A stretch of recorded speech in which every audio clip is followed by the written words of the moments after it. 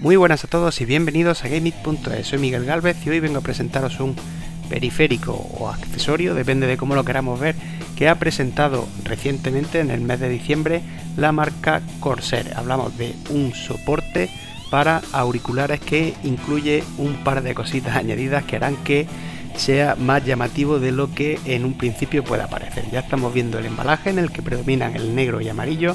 En dos de sus laterales encontramos imágenes del producto. Aquí vemos las especificaciones técnicas como son dos USB 3.1 o un conector jack, además de, gracias al software QE, que es lo que vemos en, esta, en este lateral, poder ofrecer un sonido 7.1 simulado, por lo que podremos convertir, o mejor dicho, hacer parecer a cualquier auricular que conectemos aquí como si fuera un 7.1. Recordad que la gran mayoría de headset 7.1 del mercado utilizan un sistema de simulación de surround, por lo que va a haber más bien poca diferencia. Vamos ya con el unboxing propiamente dicho, a ver si vemos cómo se abre esta caja, puesto que tiene dos zonas enceladas que ya acabamos de cortar y se resiste un poquito.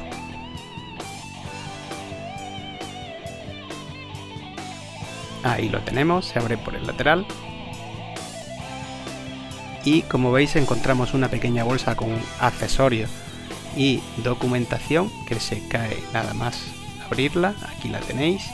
No os preocupéis porque ahora os enseñaremos el contenido y el propio soporte que como veis viene perfectamente protegido ya que no hace contacto con ninguno de los laterales de la caja gracias a estas dos bandejas por decirlo de alguna forma de espuma que lo mantienen fijo dentro de la caja.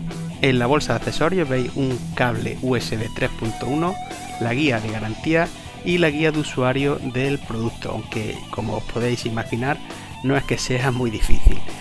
Ahí veis el soporte propiamente dicho, como veis en la parte superior tiene una pequeña rebaba para que se eh, repose la diadema del headset o del auricular y conforme vamos bajando veis el logotipo de Corsair que se retroilumina en RGB, en LED, un USB 3.1 y en la base vemos que la parte inferior tiene una pequeña tira que se retroilumina con los efectos de iluminación RGB a través del software QE que podemos configurar a través del software QE. Perdón. Atrás el conector y ahí tenéis otro USB 3.1 y el jack de audio. Aquí veis la base engomada para que se adhiera a la perfección al escritorio, la superficie donde lo queramos poner, encima de la torre o donde sea.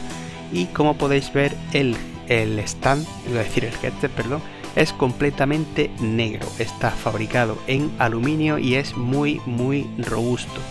Esto hace también que tenga cierto peso, lo que hace que sea bastante difícil que lo deslicemos o lo desplacemos por accidente sobre el escritorio a lo que hay que añadir la base engomada que le da todavía más estabilidad.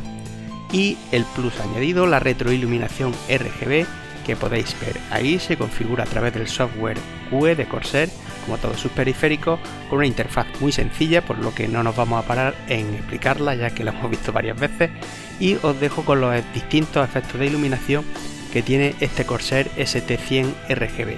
Miguel Galvez para gaming.es, muchas gracias y un saludo.